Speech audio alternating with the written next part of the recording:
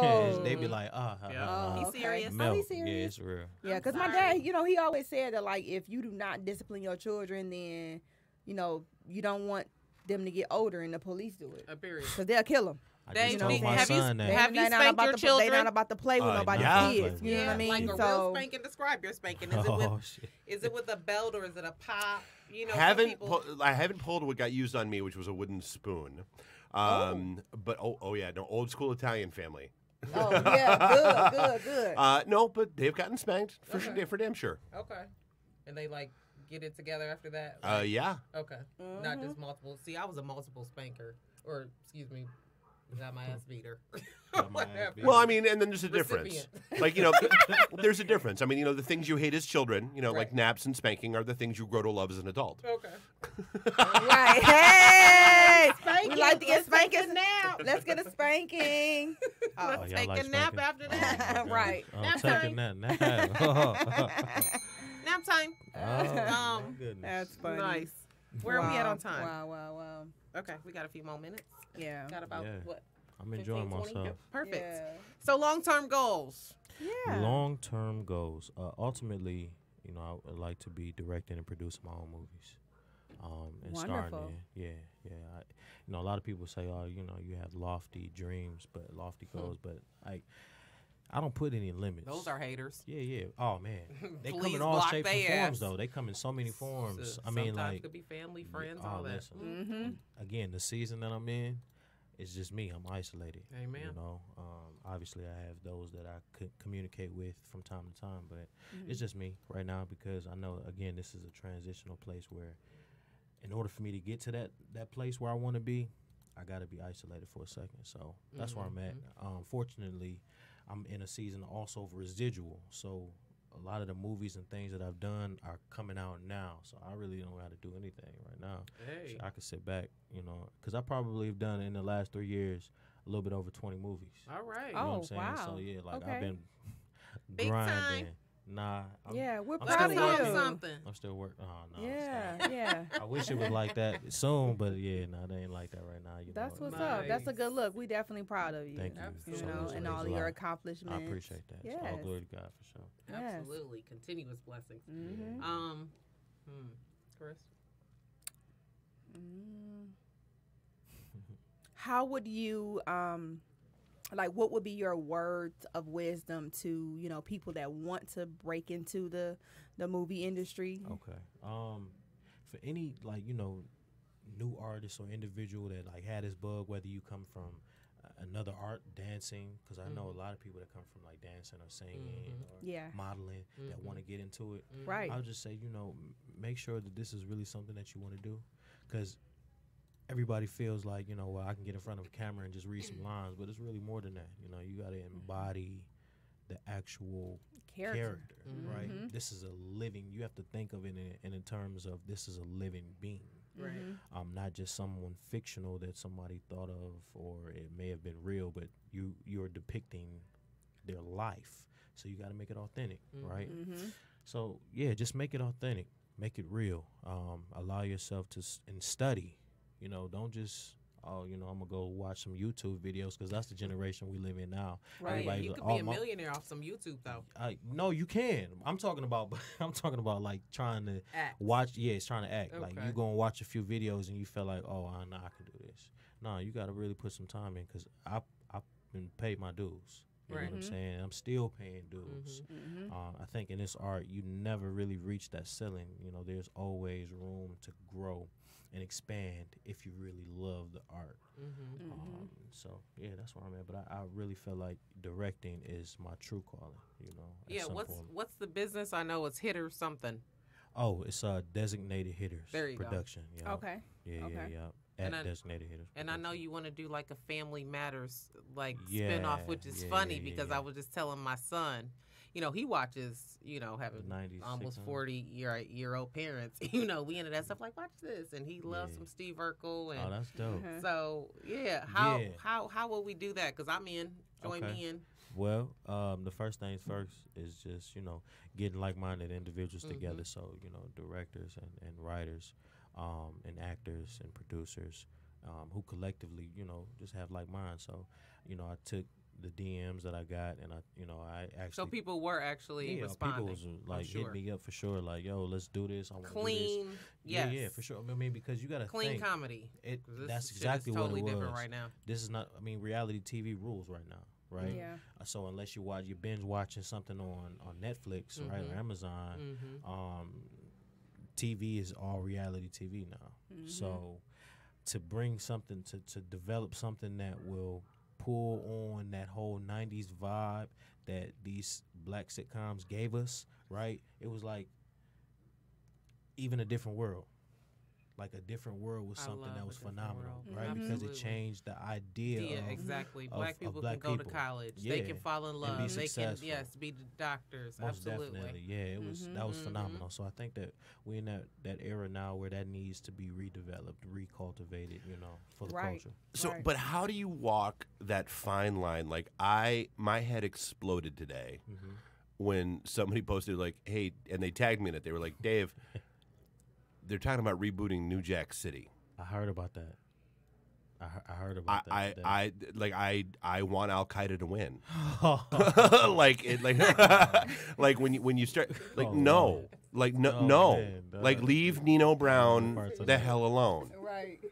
Like what? Like because Yeah, and then, I like there's a very saying. fine line between like playing to the nostalgia cultural- crowd Right. Right. and try because you know like uh what was it uh like the dark crystal Right. you know just did that new series on netflix which was great but they did it the right way they left the Mm-hmm. original alone and said hey we're going off and doing our own thing right. Just using the idea. But Yeah. I, I get what you're saying. Um, you know, don't mess with something so iconic. Absolutely. Right. Right. Um, but the where we are right now in film and television, reboots are big money. Well yeah because nobody has anybody ori- any original ideas And that's whatsoever exactly what's going on in Hollywood. Like mm-hmm. you know, we have a lot of there are some that branch off, right? But Hollywood is looking for the familiar. Yep. Right now, you know, right? Those things that already have brought in millions and millions of dollars. well but how many of them have to fail before that finally because Um, like i look at like dude like footloose yeah, dude footloose was like one of the defining movies of the 80s it really was. One And of the remake- as a young person. Oh yeah, and the remake was in the theaters for what, twelve seconds? I wasn't. I didn't. T- I watched a few minutes of the reboot and I was like, ah, this is not it. Yeah. You know what I mean? So I get it. I get it for sure. Um, I would just say this. Um, again, there's room for new writers, and and I'll space specifically Detroit. Man, we have so many phenomenal writers here. Um, that with the proper opportunity, will bust Hollywood completely open. Absolutely. Oh wow. So, and that was the next thing I was going to tap yeah. into is so like we were here uh, about a week and a half ago when the Detroit Sheetown Film Festival Mm-hmm. was here. They had their opening night party here uh, two weeks ago Thursday, Right. and talking with that crew.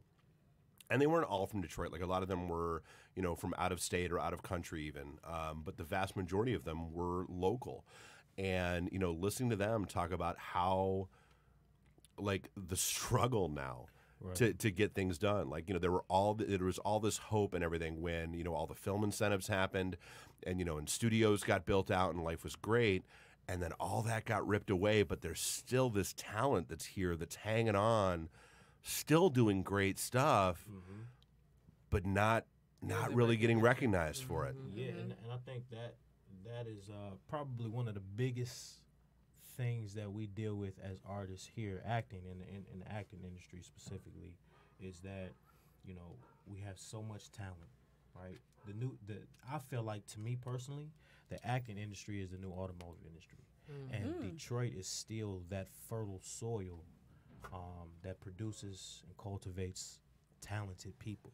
What about Atlanta? Because a lot of Atlanta is are doing dope. that. Like Okay. Atlanta is really, po- and, I, and Atlanta is really Well, they're killing it Hollywood. with the film industry right now Right. because of all the incentives still in Exactly. place. Yeah, And and then uh, the, the production studios, Mm-hmm. everybody's doing new development, and- and, and so there's so many opportunities there in Atlanta, especially for Black people. Absolutely. okay. okay. Um, but again, Detroit itself specifically has so much talent, um, whether it be actors, directors, uh, producers, writers, you know, um, um, editors.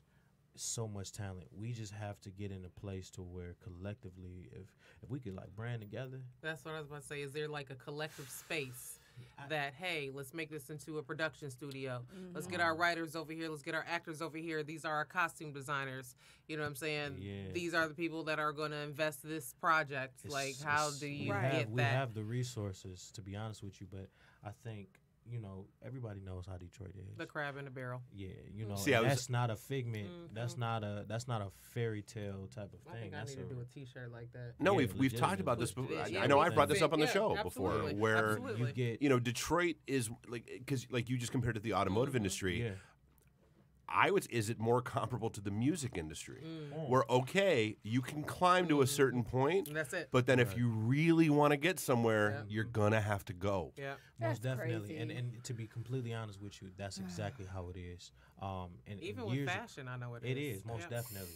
I felt like um, years ago, like yo, I got to get out of here. But I have so many of my peers um, who feel like, no, we can do it here. And I, I, at this point, I'm like, you know, I feel like both can be done. Mm-hmm. It just it's going to take a lot more sacrifice Mhm. to do it here specifically Absolutely. because the audience is not here per se, right? Mhm. Right. Um, the industry has already been established eons ago in other cities, Right. Right. Okay. Um, which, how can you compete with that? Fortunately enough, we have the digital age, you know, where people can, you know, put their their their um, movies and stuff on these platforms that are broadcasted all over. I have people from all over the world that reach out to me now. Like I had no idea that that was even possible Mhm. be- because of my performance in these movies. You Mhm. know, so the reach is worldwide. It's global.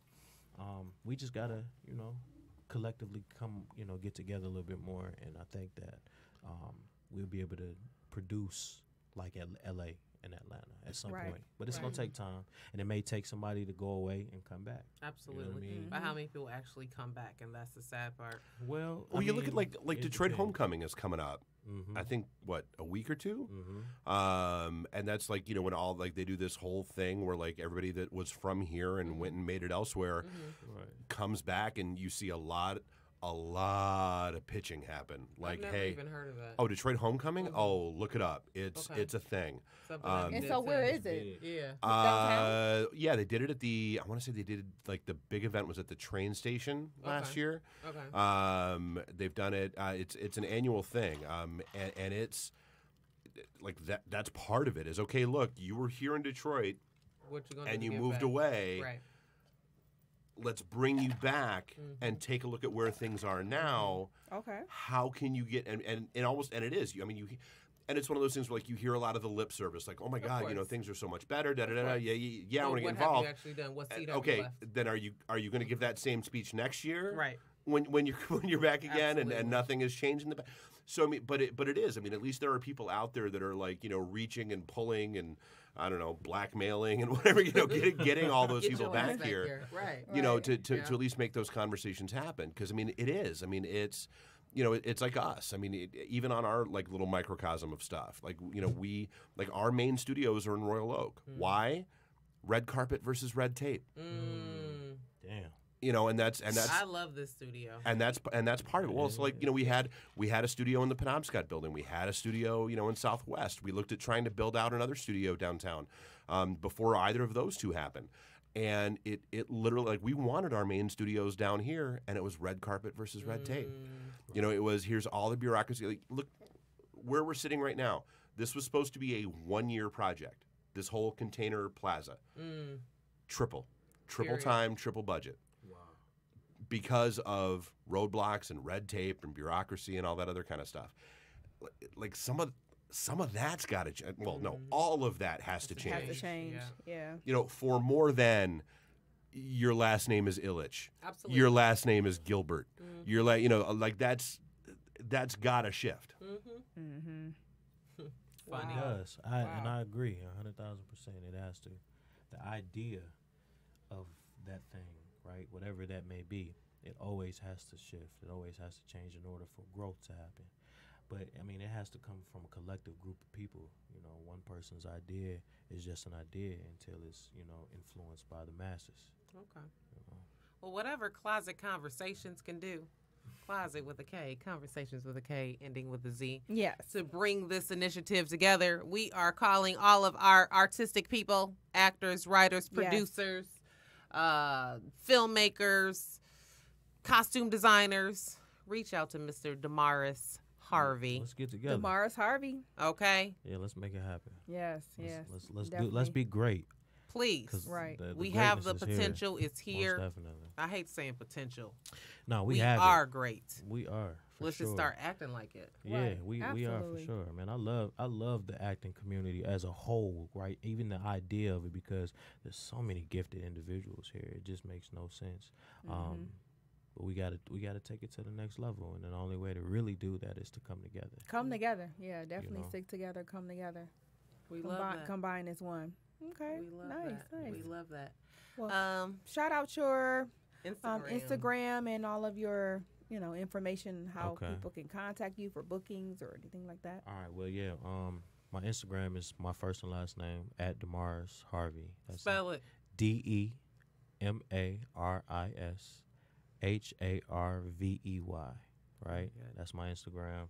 Um, you can follow me on there. Um, if you want to book me for anything, whether it's hosting or, or you want to talk to me about movies, um, you can check me out. Get my email. It's uh, ddub1220 at gmail.com um, for all contact information.